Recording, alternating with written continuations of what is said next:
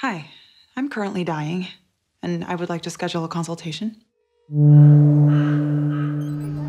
Hey, sweetheart. What are you up to tonight? I'm in the hospital. Right, right.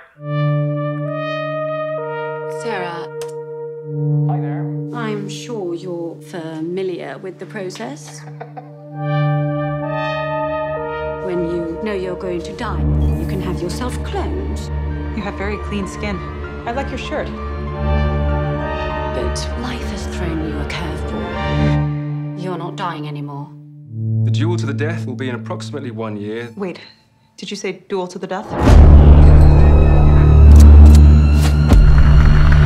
You can't have two of you walking around forever. It would be ridiculous. Do you want to live? Yes?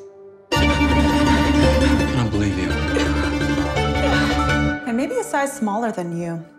I'm going to kill her. A properly trained human body is a weapon. You're pretending to be me while I'm still alive.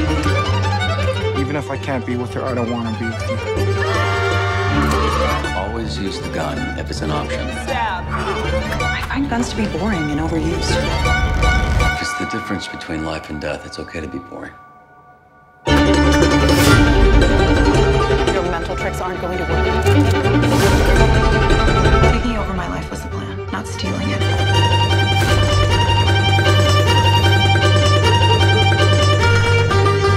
What are my chances?